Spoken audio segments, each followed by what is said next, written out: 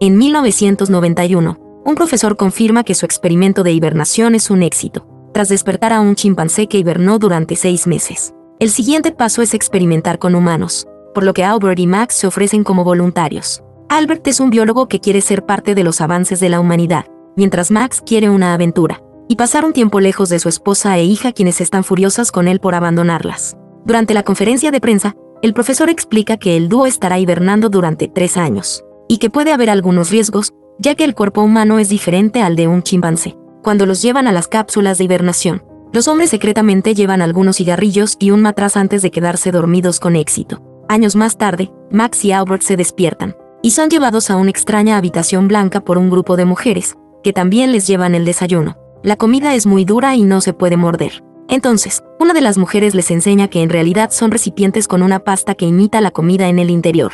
Los hombres se quejan de la falta de gusto, pero le echan la culpa a los efectos secundarios de la hibernación. Entonces Max saca los cigarrillos y el matraz, y los comparte con Albert como un pequeño postre. Sin embargo, el humo inmediatamente activa una alarma, y las mujeres se apresuran a apagarlo cubriéndolos con espuma. Después una doctora y su asistente, Lamia, van a ver cómo están los tipos, que siguen preguntando por el profesor. Las mujeres explican que el profesor falleció y que sus experimentos fueron abandonados, ya que el mundo pasó por otra guerra. Max y Albert están muy confundidos, por lo que las mujeres finalmente comparten los detalles. Han dormido por 53 años, lo que significa que ahora es el año 2044. Para empeorar las cosas, la guerra acabó con todos los hombres, por lo que Max y Albert son los únicos que quedan. Confundidos y asustados, el dúo intenta huir, pero la puerta los electrocuta y los noquea. Cuando se despiertan, Albert concluye que esta debe ser la segunda etapa del experimento, y están probando sus reacciones ante un shock psicológico. Max todavía no puede creer que no haya más hombres, y se pregunta cómo se reproducen las mujeres, dado que Lamia los está vigilando. Escucha esto y les explica que se reproducen mediante partenogénesis, que es una forma real de reproducción asexual, que no requiere fertilización y que se encuentra en muchos animales. En ese momento, otra mujer perteneciente a la facción Genetic entra a la estación de trabajo de Lamia y toma algunas cosas. Dice que es una pena que Lamia haya dejado Genetic para unirse a la facción Archo. Antes de irse, la mujer señala que sería una mejor idea entregar a los hombres a Genetic. Algún tiempo después, se enciende la televisión en la habitación de Albert y Max, y aparece una mujer hablando de partenogénesis. Entonces Albert tiene que explicarle a Max que los niños son creados en tubos de ensayo. Lamia menciona que su método de procreación es perfecto, pero Max los acusa de lavar el cerebro de los niños. Esa noche, Max y Albert piensan en los años de vida que se perdieron y en cómo sus familiares y amigos ya fallecieron. Jurando que nunca más se congelarán, se consuelan y terminan las últimas gotas de alcohol. Más tarde, mientras ven la televisión, Max señala que si hacen las cosas bien, este lugar podría ser un paraíso para ellos. Sin embargo, Albert lo regaña por pensar con su otra cabeza, en una situación tan seria. En ese momento, Lamia viene a comprobar su salud, y Max responde con una frase coqueta, que Lamia no entiende. Luego pregunta si podrían dar un paseo juntos o incluso bailar, mientras se acerca a Lamia de repente, robándole su primer beso. Lamia se asusta, e inmediatamente lo tira al suelo antes de irse. Una vez que está sola, Lamia se da cuenta de que no puede dejar de pensar en el beso, y algo ha despertado dentro de ella. Finalmente, a los hombres se les permite salir de la habitación y son llevados al biosantuario, donde se encuentran con animales embalsamados que han sido víctimas de la radiación. También encuentran un árbol con dos manzanas diminutas, y se las comen. En ese momento son abordados por su excelencia, la líder de esta sociedad. Cuando pregunta la edad de los hombres, Emma, una miembro de Genetic, explica que los hombres técnicamente tienen 86 años, pero debido a la hibernación no han envejecido físicamente. Max se acerca para presentarse formalmente, pero los guardias creen que está a punto de atacarla y lo derriban. Su excelencia les dice a los guardias que suelten a Max y les enseña algo de historia. Aquí se nos revela que fue el profesor quien inventó la bomba M, una sustancia química que se suponía paralizaría a los genes masculinos para detener la guerra, pero que terminó eliminándolos. Max señala que él y Albert pueden hacerse cargo de la reproducción ahora, pero ninguna de las mujeres está interesada. Su excelencia señala el árbol, y explica que simboliza la historia de Adán y Eva, para que las mujeres recuerden no perder el paraíso. Luego se da cuenta de que las manzanas ya no están, y ordena furiosamente a los guardias que los hombres sean puestos en confinamiento. Después Albert le dice a Max que deberían escapar, teorizando que debe haber un mundo mejor allá afuera. Mientras tanto, Lamia sigue pensando en el beso, por lo que visita a la anciana, la única persona que todavía recuerda el viejo mundo. Lamia le da un tarro de mermelada de fresa para convencerla de hablar, y la anciana comparte historias sobre el papel de los hombres en la sociedad anterior. Lamia no puede evitar admitir que hay algo fascinante en Max y Albert, lo que hace que la anciana señale que Lamia tal vez se esté enamorando. Luego la anciana pregunta qué pasará con los hombres. Entonces Lamia explica que pasarán por una naturalización, es decir, que serán operados para convertirse en mujeres. La anciana se enoja y dice que eso es peor que la muerte para ellos, mencionando que estos hombres son la última oportunidad para que las cosas vuelvan a la normalidad. Algún tiempo después, Max y Albert son atrapados espiando una clase, que lava el cerebro de las mujeres con mentiras sobre el pasado. Lamia les pide que firmen un formulario para que puedan autorizar la naturalización, pero los hombres se niegan. Albert también menciona que no cooperará a menos que se les conceda la libertad. Después de que Lamia se va, el techo se abre, y de repente descubren una gran asamblea de mujeres mirándolos. Una discusión comienza para decidir el futuro de los hombres, pero en lugar de un juicio, se convierte en una discusión entre las facciones de Genetic y Archio. Archio quiere obligar a los hombres a pasar por la cirugía, mientras que Genetic quiere matarlos y experimentar con ellos. Mientras las mujeres votan, Max y Albert idean un plan para escapar. Comienzan a besar a las guardias, y la mezcla de shock y hormonas las hace desmayarse. Para cuando Archie y su idea de la cirugía gana por un voto, el dúo ya se ha ido. Los hombres deambulan por el edificio, besando a cualquier mujer que intenta detenerlos para desmayarlas. Finalmente encuentran un ascensor, y lo usan para visitar diferentes pisos, donde encuentran una cosa rara tras otra.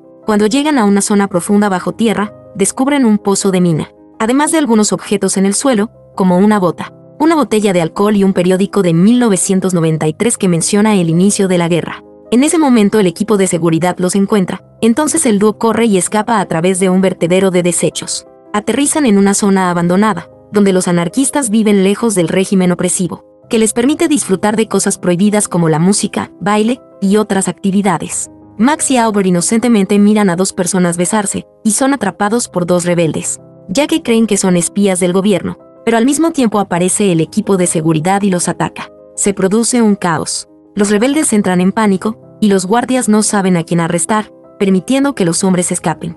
En el caos, los hombres se separan, pero afortunadamente se reencuentran en el ascensor, solo para ser descubiertos por Lamia. Ella se ofrece a llevarlos a ver el exterior, pero Max sospecha de la joven. Sin embargo, Albert le recuerda que esta es su única oportunidad, por lo que aceptan seguirla hasta una habitación extraña con un periscopio. Mientras los hombres lo miran, se revela que las mujeres han estado viviendo bajo tierra, ya que afuera todo es oscuro y árido, sin posibilidad de mejorar en el corto plazo. Su sistema siempre detecta al menos 300 unidades de radiación, como efecto secundario de la bomba M, lo que significa que no pueden salir. Sin embargo, Max y Albert prefieren arriesgarse antes que vivir allí.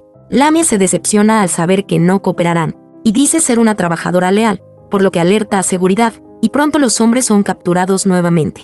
Emma y otra mujer felicitan a Lamia por engañarlos con su plan, y le da un pin que representa un ascenso, pero Lamia no se siente feliz ni orgullosa. Luego se le pide a Lamia que entregue todos los datos que ha recopilado sobre los hombres, ya que Genetic deberá hacerse cargo de su trabajo, debido a que al intentar escapar, los hombres han sido marcados como peligrosos. Una furiosa Lamia no está de acuerdo, ya que ha estado trabajando en una tesis sobre los hombres, pero Emma se burla de ella diciéndole que tendrán que llevarse eso también. Molesta, Lamia tira su pin. Mientras tanto, Albert y Max se preparan para el procedimiento. Sus órganos serán entregados a mujeres mayores, mientras que el resto de sus cuerpos se sintetizará para sustancias nutricionales, ya que hoy en día faltan fuentes de proteínas. Para sorpresa de Max, una de los cirujanos es su hija, quien ahora es mayor y está resentida con su padre por abandonarla. Antes de que el procedimiento pueda comenzar, Lamia se cuela en el quirófano para vengarse de Genetic, saboteando la cirugía y ayudando a los hombres a escapar. El trío llega al ascensor, solo para que Albert se desmaye,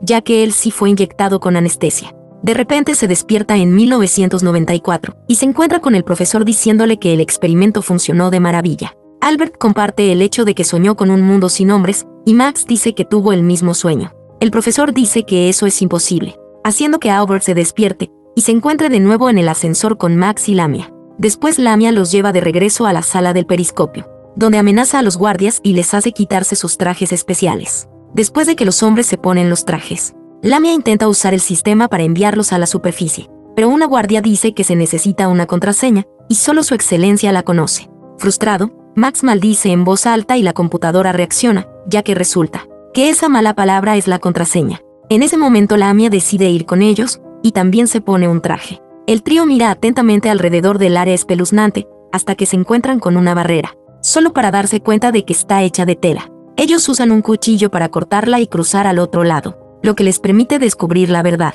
El mundo está bien, y lo que vieron en el periscopio. Era una mentira para lavar el cerebro de los ciudadanos de la base subterránea. El grupo explora la belleza de la naturaleza y disfruta de la cálida luz del sol, hasta que se dan cuenta de que los trajes se están quedando sin oxígeno. De repente Max ve un pájaro volando, y se quita el traje confirmando que el aire está bien, después de que los demás también se quitan los trajes. Continúan avanzando y encuentran un muro, el cual saltan para descubrir una hermosa casa. Inmediatamente se ponen cómodos y toman comida fresca del refrigerador, lo que sorprende a Lamia por su increíble sabor. Mientras tanto, en la base subterránea, Emma se ofrece como voluntaria para ir a buscarlos. Así que se pone el traje y va tras el grupo. Finalmente encuentra la casa y ve al trío, pero en ese momento se desmaya, ya que su traje está perdiendo oxígeno. Albert la recoge y la lleva dentro de la casa para ayudarla a recuperar la conciencia. Cuando se despierta, Emma exige ser llevada de regreso a la base y comienza a luchar con Albert para escapar.